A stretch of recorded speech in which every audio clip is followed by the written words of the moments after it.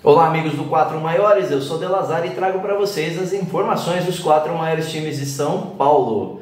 Vamos aí falar sobre o Corinthians, o São Paulo e o Santos e na sequência o pré-jogo do Palmeiras nesse jogaço pela Libertadores hoje na no Allianz Parque. Então vamos começar aí com as novidades do Corinthians. O Corinthians, com a classificação de ontem, obteve aí uma premiação de 2,6 milhões de reais para as quartas de final. Caso ele se classifique na semifinal, o prêmio será de 3,8 milhões.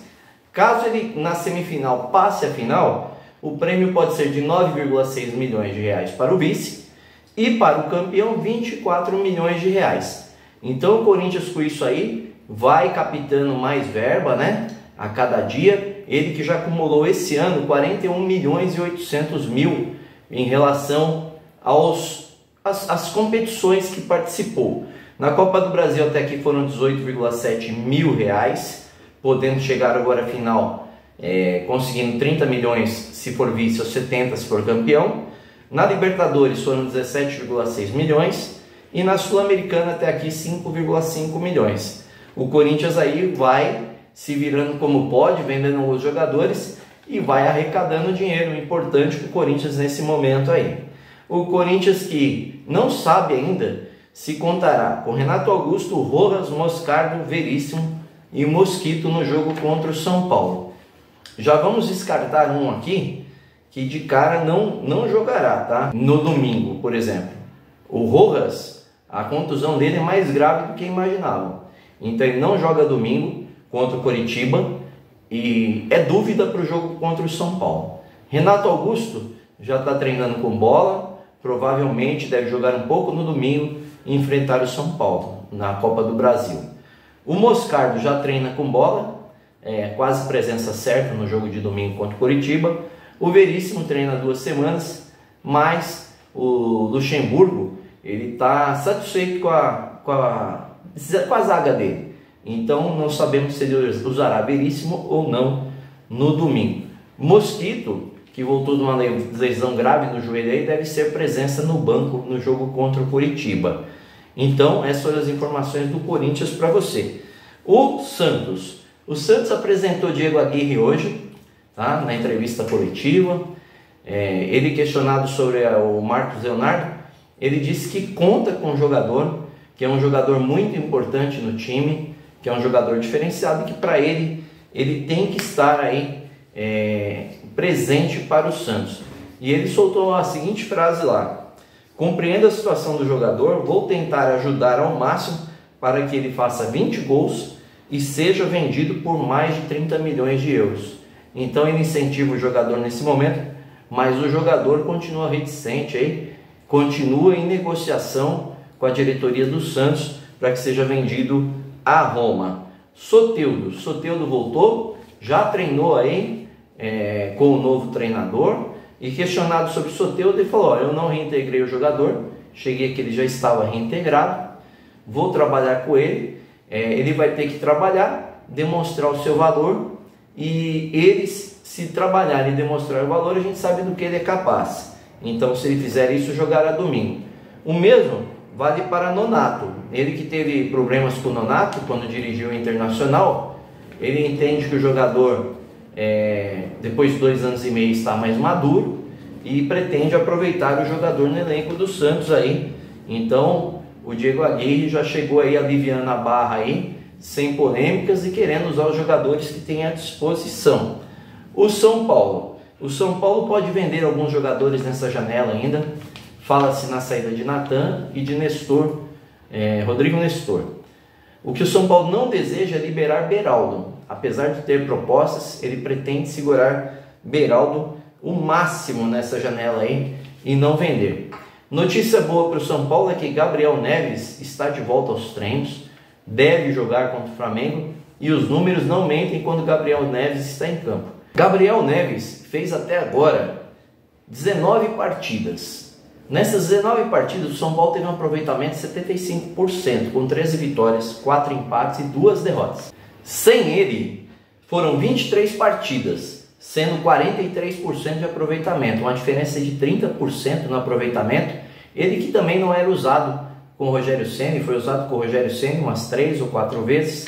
Então Dorival passou a usar ele mais e o rendimento do São Paulo aumentou. Após a sua contusão na costela no jogo contra o Palmeiras, ele ficou ausente e de lá para cá o São Paulo não ganha cinco partidas, ganhou somente contra o Santos por 4 a 0 no Morumbi, depois da ausência de Gabriel Neves.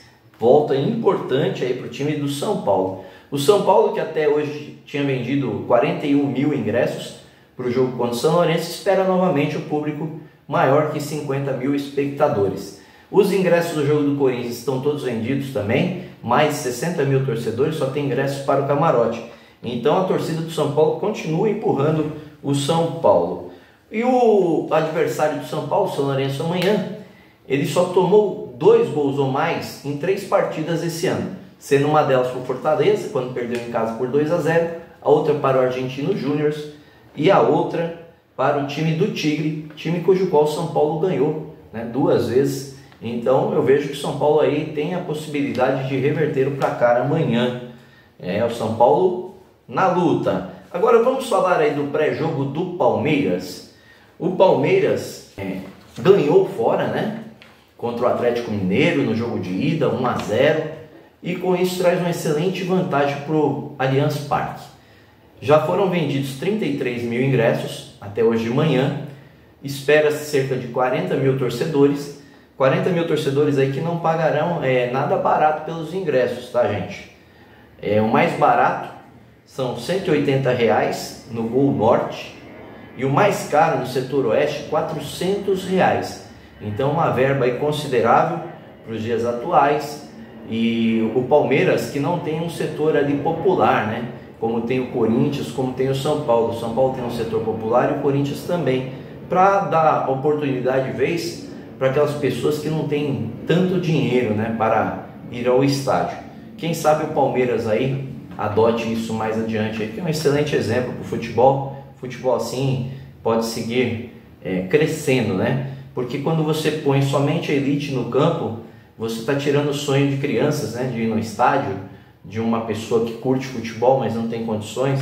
Então a gente espera que essa política aí mude lá no Palmeiras para que as coisas melhorem para o torcedor. O Palmeiras não contará somente com o Atuesta, ele que está ainda contundido, departamento médico, e o será o time, né? O time do Palmeiras, será o time é, bem conhecido aí pela torcida, né? É o seu time titular. Então o Palmeiras provavelmente aí hoje deve jogar com o Everton, com o Mike, Gustavo Gomes, Murilo, Piqueires. No meio-campo, Zé Rafael, Veiga, é, Gabriel Menino, Arthur, Rony e Dudu no ataque. Tá ok? O Palmeiras que tem um aproveitamento muito bom na Libertadores.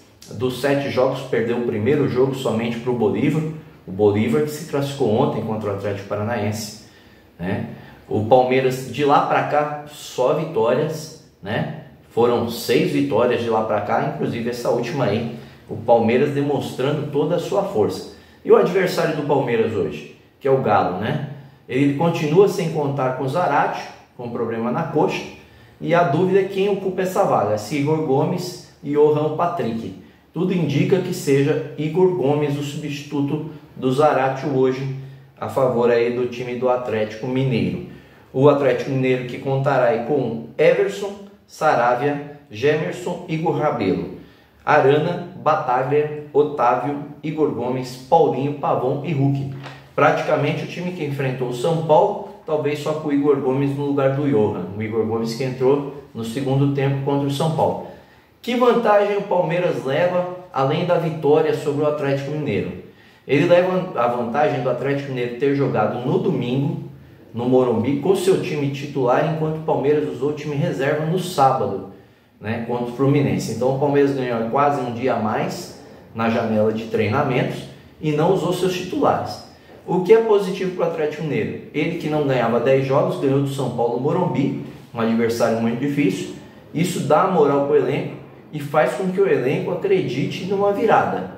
Não será fácil para o Atlético Mineiro, assim como não será para o Palmeiras, mas o Palmeiras joga na sua casa, com a força da sua torcida, né? com a vantagem no placar e com uma campanha na Libertadores aí invejável, né? torcedor palmeirense que o diga. Ah, mas se acontecer um desastre, Delazar, esquece. Se acontecer um desastre, Abel vai continuar no comando do Palmeiras, ele tem muitos títulos pelo Palmeiras. Vai ser muito questionado pela imprensa. A imprensa espera essa oportunidade certamente, porque o Abel tem tido um embate muito grande com a imprensa. Então, vamos ver como a imprensa se comporta caso o Palmeiras perca, né? O Atlético Mineiro. Mas se vencer, a imprensa vai ter que continuar aguentando o Abel, com o jeito dele de ser, né? Vejamos aí os próximos episódios aí dessa relação imprensa-Abel Ferreira. Tá pegando fogo. E aí quem vai apitar esse jogo, De Lazari? Será um trio argentino, tá? Fernando Rapalini é, é o árbitro, os bandeiras, os assistentes, Juan Belatti, Pablo Echavarria. E no VAR, Jorge Balinho. Todos da Argentina, como eu disse. E o vencedor desse jogo, desse confronto entre Palmeiras e Atlético Mineiro, enfrenta o vencedor é, do Deportivo da Colômbia contra o Independente Del Valle do Equador. Lembrando que o Deportivo ganhou o primeiro jogo do Independente Del Valle, um time do Independente Del Valle que não é fácil de ser batido, hein? Então, importantíssimo aí o Palmeiras ficar de olho no seu adversário, que não será um adversário fácil na próxima rodada, independente de quem venha. Se pensarmos no Independente Del Valle, ele foi lá a Sevilha fazer o, o desafio dos campeões lá na, contra o campeão da Liga Europa, que era o Sevilha, e perdeu nos pênaltis e por pouco não ganhou o jogo. Esteve ganhando por 1x0, tomou um gol nos acréscimos lá e depois perdeu nos pênaltis. Que jogos temos hoje de Lazaré pela Libertadores, né? Hoje nós teremos pela Libertadores Nacional e Boca Juniors, teremos Deportivo Pereira Independente Del Valle e teremos Atlético Mineiro e Palmeiras. Os dois primeiros jogos que eu falei às 21 horas e o jogo do Palmeiras às 21 horas e 30 minutos. E na Sul-Americana, Delazar, temos brasileiro jogando hoje? Temos sim, teremos Botafogo e Guarani do Paraguai, lá no Paraguai, que é o jogo de volta, e Estudiantes e Goiás, esses jogos de hoje da Sul-Americana. Espero que vocês tenham gostado das informações. Claro, né? Se gostaram, por favor, inscrevam-se no canal, né? Dê esse apoio aí para o nosso canal. É, dê aquele likezão, né? Aquele joinha aí no, no, no nosso vídeo. E após dar esse joinha, compartilhe com os amigos do nosso trabalho. A gente segue aqui fazendo um trabalho diário, trazendo informação dos quatro maiores para vocês e do futebol internacional, nacional, onde quer que ocorra uma novidade, a gente traz aqui. Grande abraço, valeu!